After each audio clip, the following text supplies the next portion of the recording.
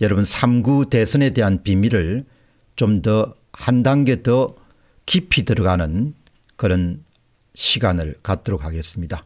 뭐 이미 일찍 보셨다시피 지금 여러분이 보시는 것은 대구광역시의 사전투표 조작에 대한 그런 그 계산 결과입니다. 뭐 1번은 1번에 이제 실제 득표수로 추정치입니다. 예. 이재명 후보가 9만 8,105표, 윤석열 후보가 57만 5,895표입니다. 이것을 이제 여기에다가 군소 그런 정당의 후보들의 실제 득표수를 더하게 되면 마지막에 검정식으로 나와 있는 69만 8,986표가 바로 대전 대구 광역시의 사전투표 선거인 수입니다. 여기서 이제 기권수를 빼고 이렇게 하면은 사전투표 수가 나오겠죠. 사전투표 인 수입니다. 이것은 바로 어 3월 4일과 3월 5일 날 사전투표가 실시되는 동안에 실시간으로 바로 중앙선거관리위원회의 메인 서버에 계속 파악이 됩니다.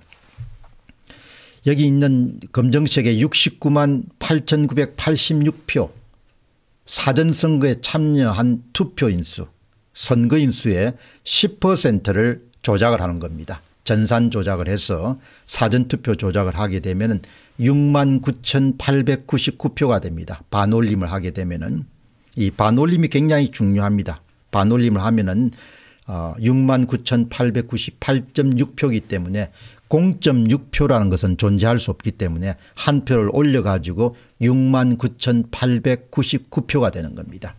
이것을 이재명 후보한테는 더해주고 윤석열 후보에게는 빼주고 해가지고 결국은 조작된 득표수 이 조작된 득표수를 중앙선거관리위원회가 공식적으로 발표하고 이것을 선거가 끝난 이후에 공식 홈페이지에 그 데이터를 공개합니다. 이 데이터에 따르면 이재명 후보는 실제 득표수로 추정되는 9만 8,105표에서 발표된 조작된 득표수는 16만 8,001표가 됩니다.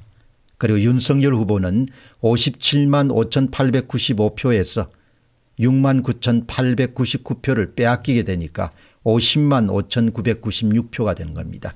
이것이 이제 국민들에게 알려진 최종 결과입니다. 그러나 이 최종 결과라는 것이 가짜 진짜가 아니라는 것을 우리가 이제 알게 되는 것이죠.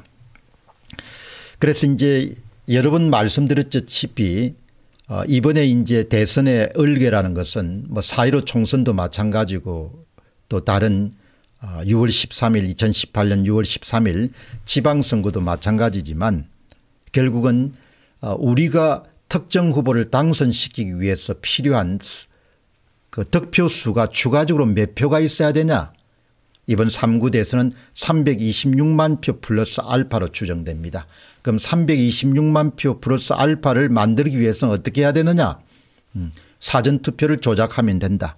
그 사전투표에 326만 표를 만들기 위해서는 전국에 골고루 조작값 총 20%각 후보별 10% 10%를 사전득표수의 10%를 대해주고 그 다음에 10%를 빼주는 총 조작값은 20%를 그렇게 행하면 된다.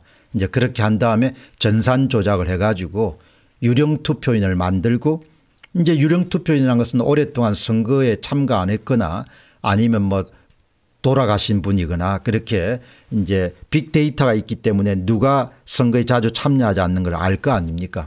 이제 그것에 맞춰 가지고 위조 투표지를 최대한 만들어 가지고 투표함에 투입하는 이제 그런 형태의 시나리오가 3구 대선에서 적용되었을 것이고 그리고 4.15 총선에서도 적용되었을 것이다 이렇게 봅니다.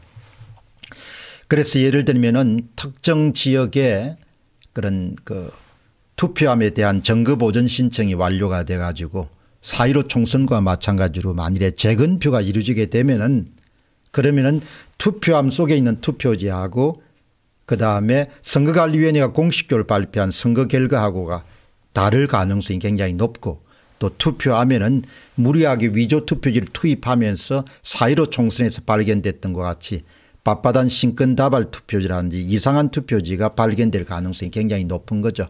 지금 대한민국의 어, 공직선거가 지금 이런 정도의 상황에 온 겁니다. 그러니까 형편없는 그런 상황에 와 있는 것이죠. 예. 이제 그것을 이제 저와 민경욱 대표라든지 황경화 전 총리 같은 분은 이거를 이제 고치자는 거죠. 고쳐서 이제 국민들이 진짜 원하는 그런 지도자를 우리가 뽑을 수 있도록 공직선거나 당내 경선을 다 그렇게 해야 된다는 것이고 그다음에 일군의 대한민국을 장악하고 있는 언론이라든지 정치인들의 대부분은 그냥 뭐 선거가 끝났으니까 됐고 그냥 묻고 넘어가자 뭐 이렇게 하는 거죠. 이렇게 이제 묻고 넘어가게 되면은 국민의힘의 경기도지사 당내 경선도 강용석 씨는 될 가능성이 없는 거죠. 왜 그런가 하니까 다 본인들이 원하는 사람들을 만들 수 있는 그런 체제가 돼 있으니까 이게 딱한 거죠. 예. 강용석 씨처럼 부정선거를 규명하기 위해서 나섰던 사람은 그 사람은 반드시 떨어뜨리는 거죠. 이번에 뭐 대구 중구 남구도 그런 의혹이 많지 않습니까 또 대우 변호사의 그런 증거보존 신청 단계에서 보게 되면 말도 안 되는 투표지들이 나온 거 아닙니까? 투표지를 만졌다는 거 아닙니까? 관외 사전투표는 엉망진창이었던 것이 이미 밝혀졌지 않습니까? 그러니까 이 문제를 국가적 재난이라고 생각하고 해결해야 되는데 윤석열 당선인이 해결할 그런 의지가 있겠느냐? 거기에 대해서는 물음표가 강한 거죠 아직은. 두고 봐야겠지만 쉽지 않을 거다 이렇게 보는 사람들도 많은 겁니다. 이제 그렇게 해가지고 이제 목표 득표수가 만들어지고 훔쳐야 될 사전투표수가 정해지게 되게 되면 이제 전산 조작에 의해서 이제 그런 유령 투표인이 생기게 되면 그 다음에 이제 표를 막 집어넣지 않습니까? 표를 집어넣는 과정에서 이제 발견된 증거물들이 이런 거지 않습니까? 예. 뗐다 붙였다 해도 표시가 안 나는 특수봉인지를 중앙선거관리위원회가 왜 사용했겠습니까 여러분 왜 사용했다고 봅니까 우리는 추적을 할 수 있는 것이죠. 아 사전투표가 끝난 다음에 전산상으로 결정된 목표 득표수에 맞춰 가지고 모처에서 만들어진 위조된 사전투표지를 투입하는 것을 용이하게 쉽게 하기 위해 가지고 아 중앙선거관리위원회가 특수봉인지를 만들었구나. 이 봉인지는 투표함에 붙이더라도 떼고 나면 아무 표시가 나지 않으니까 떼서 투입하고 붙이기 위한 용도였구나. 이렇게 의심할 수 있는 겁니다. 우리가. 세상에 어느 봉인지가 뗐다 붙였다 하더라도 표시나지 않는 봉인지가 어디 있습니까 그런 것을 이번에 3구 대선에서 만들어서 사용한 거 아닙니까 어제. 그 다음에 보시기 바랍니다. 당일 투표함은 투표함 눕게하고 투표함하고가 이렇게 일체형이 되어 있기 때문에 떼기가 쉽지는 않습니다. 그런데 여기 보시죠. 이게 바로 행랑행 관내 사전투표함입니다. 쉽게 뗄 수 있게 만든 겁니다. 행랑으로 만든 겁니다. 관내 사전투표함을 이렇게 횡단액으로 쉽게 이렇게 뭘 붙였다 뗐다 할 수 있게끔 이렇게 만들 수 없는 겁니다. 지금 이 윤용진 변호사가 손가락을 집어넣고 있습니다. 얼마든지 손가락을 집어넣으면 아무 표시 나지 않게 투표함에다가 투표지를 투입할 수 있게끔 만들어 놓은 겁니다. 관내 사전투표함하고 당일 투표함이 달라야 될 이유가 전혀 없지 않습니까 근데 지금 뭐 어떻게 만들어 놨습니까? 관내 사전 투표하면 특별하게 쉽게 뭐죠? 이렇게 천 조각으로 만들어서 천을 저렇게 손가락 넣듯이 살짝 벌려서 투입하게 되면은 아무 문제 없게 쉽게 위조 투표지 투입할 수 있게 만들어 놓은 겁니다. 이런 짓을 선관위가 해 놓은 겁니다. 의심을 살 수밖에 없지 않습니까? 시간이 얼마나 없었으면은 이렇게 당일 투표지에 절치선을 자르지 않는 상태로 그렇게 투표함에 집어넣었겠냐요. 그 이거를 보면은 당일 투표도 조작을 했을 가능성이 높은 거죠. 여러분이 아시다시피 당일 투표는 이렇게 절치선을 자르지 않습니까? 이 절지선을 자르면은 이 절지선을 별도의 봉투나 이런 부분에 함에다가 보관하지 않습니까? 이 절지선도 자르지 않고 이렇게 집어, 집어 넣었습니다. 얼마나 바빴으면 넣었겠습니까? 그러니까 다르게 이야기하면 사전 투표하면 거대한 조작이 있었지만 당일 투표하면서도 우리가 알 수 없는 상당 수준의 상당 규모의 조작이 있었다는 것이죠. 이게 한 표, 두 표지만 이게 빙산의 일각이라는 것입니다. 그 다음에 이번에 보시기 바랍니다. 이번에 또 어디서 나왔습니까?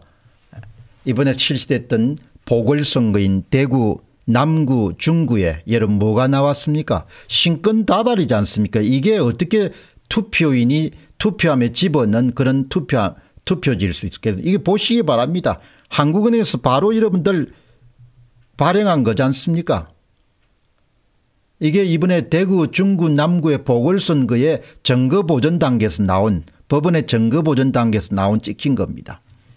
이게 여러분들 지금 말씀드린 봉인지 행랑행 천조각으로 만든 관내 사전투표함 절지선이 잘리지 않는 당일 투표지 그리고 보궐선거에서 3구 대선의 보궐선거에서 발견된 빳빳한 신권 다발 같은 투표지 이렇게 다 뭔고 목표 득표수를 만든 다음에 전산을 조작하고 그 전산 조작에 맞춰 가지고 얼추 맞게끔 투표지 위조 투표지를 투입하는 과정에서 발견된 증거물들인 것이죠.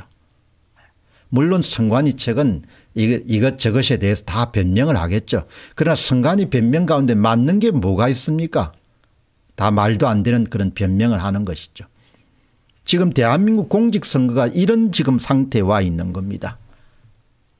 그런데 정치인들은 다 고칠 의향이 없는 겁니다.